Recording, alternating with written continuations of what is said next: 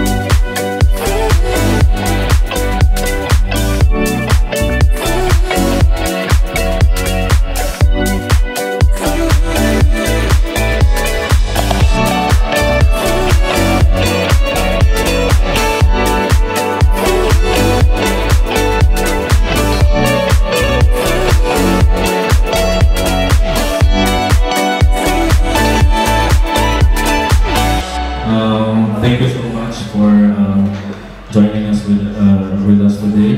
We really appreciate to each one of you despite all of your uh, hectic schedules. So let's enjoy the party.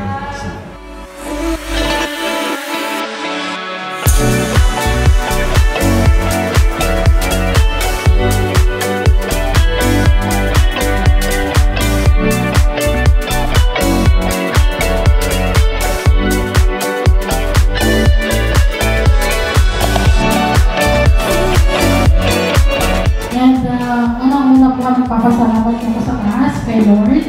Kung hindi dahil po sa kanya, wala po kami napakabait na bata at napaka-pogi. Napag-message ko po kay Mark, huwag kang mag-alala na pagabayan ka namin tatay mo, mamahalin ka namin palagi at iingatan ka namin palagi.